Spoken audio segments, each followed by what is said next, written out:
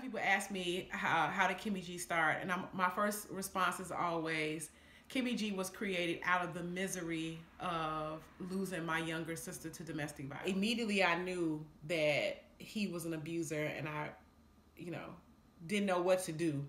Um, and so, unfortunately, during that time, he decided because she wanted to leave that he would kill her, and he was successful with it. Um, so, May 17, 2005, she was murdered, uh, beat to death um, by him overnight with the children in the house, and pretty much left there to die. We started um, basically to provide support, counseling, resources, education.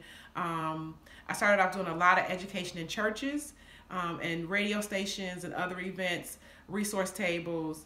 Um, but right now, we are basically just providing one-on-one counseling to women who are going through or coming out of abusive relationships. Um, just giving them a place to restore um, themselves back to usefulness. So a lot of times people ask uh, if I, what can I do to help? I think the, the most you can do is educate yourself about domestic violence, like what it looks like, not just what stereotypically, but what it looks like. There is no face, there is no economic level, there's no education level. Um, it affects everyone. So one out of four women are affected. So you know someone. So educate yourself.